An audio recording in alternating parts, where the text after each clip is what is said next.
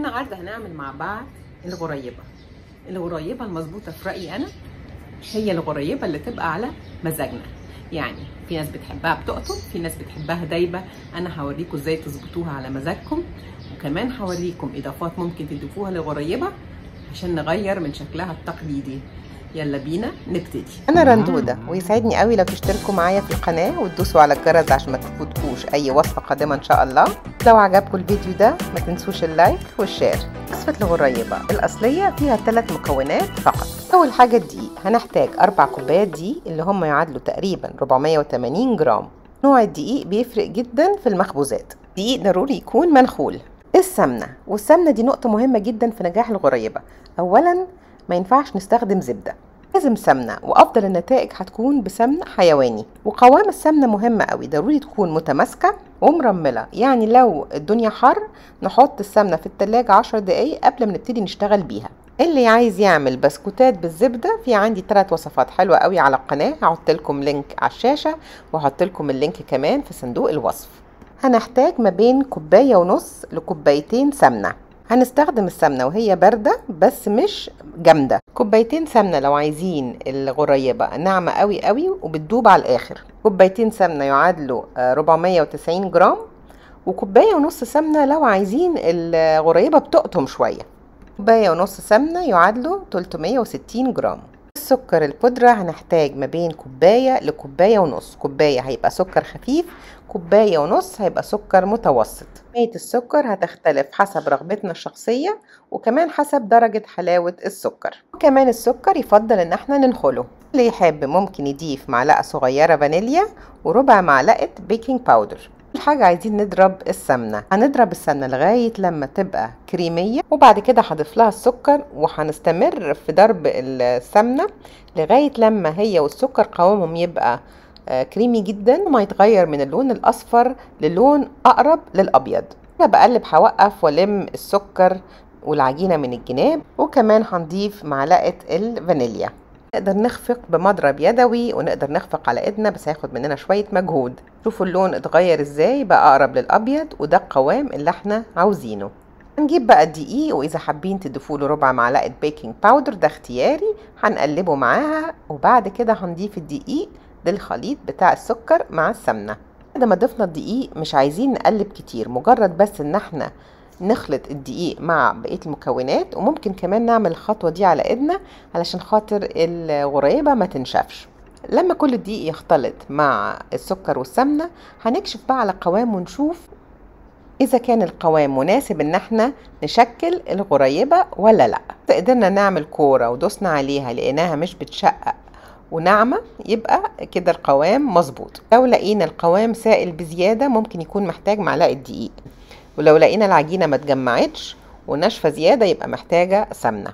لقينا إن العجينة ناعمة بزيادة أو طرية بزيادة لو الدنيا حر ممكن تبقى محتاجة تدخل التلاجة ربع ساعة عشان تبرد شوية. عجينة جاهزة. أنا قسمت العجينة أربع أجزاء. الجزء الأول هعمله الغريبة التقليدية. أنا هستخدم ميزان علشان خاطر أوزن القطع فبحيث إن هم يكونوا مقاسهم مقارب. طبعا دي خطوة اختيارية. الغريبه المقاس العادي هتبقى تقريبا 16 جرام ولو أصغر شوية تبقى في حدود ال 12 جرام. هنشكل العجينة في شكل كور وبعد كده حسب اختيارنا ممكن نسيبها كورة بس أو ممكن نضيف لها زي ما نحب فستق أو لوز أو في ناس بتضيف قطع لولي. فضي حسب رغبتنا. هناخد الحاجة اللي هنزين بيها وهنضغطها في العجينة ضغطة خفيفة لتحت.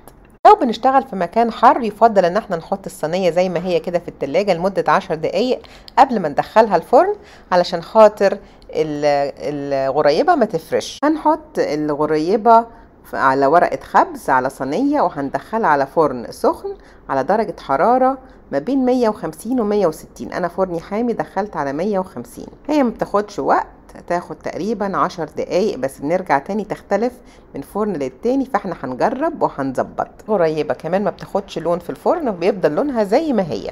دي بقى للتجديدات اللي ممكن نعملها في الغريبة والأشكال المختلفة. أول حاجة الغريبة بالمكسرات. ممكن نضيف فستق مثلا.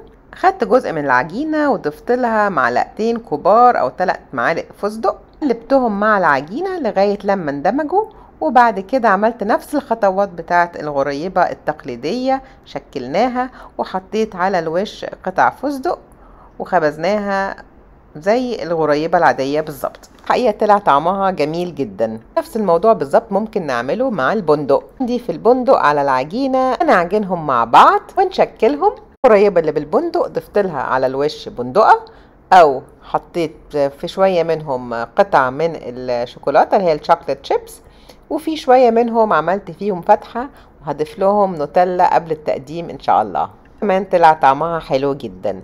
آخر حاجة بقى هنعملها هي الغريبة ال red velvet. بتدي لون حلو للغريبة وبتبسط الأطفال الصغيرين باللون الأحمر الجميل بتاعها. أول حاجة هنضيف من معلقتين صغيرين لتلاتة كاكاو خام على جزء العجينة اللي إحنا جنبناه. نعجنه مع العجينة لحد ما نحس إن هو اندمج معاها كلها. بعد كده هنضيف مكثف لون أحمر ويفضل إن هو يكون معجون مش سائل. الكمية هتتوقف تماما على نوع اللون. ونقعد نزود اللون لغاية لما نوصل للون اللي إحنا عايزينه. هنخلطه برضو مع العجينة لغاية لما يندمج تماما وبعدين نبتدي نعمل نفس الخطوات بتاعة الغريبة التقليدية. التزيين كمان اختياري ضفت رقائق الشوكولاتة على جزء منه لأن حسيت إن هو لايق معاه. في جزء عملت فيه فتحة هنحط فيه نوتيلا وبعدين وممكن كمان نحط أي نوع من أنواع المكسرات اللي إحنا بنحبها لوز بندق أو فستق. غريبة ال red velvet طلع شكلها لذيذ جدا وطعمها جميل وكده. عملنا تشكيلة غريبة عملنا منه طبق مشكل شكله لذيذ جدا وبالهنا والشفا. كده خلصت وصفة النهاردة الغريبة التقليدية والغريبة المشكلة. كل سنة وأنتم طيبين. يا رب تكون الوصفة عجبتكم. واشوفكم على خير في الوصفة الجاية إن شاء الله.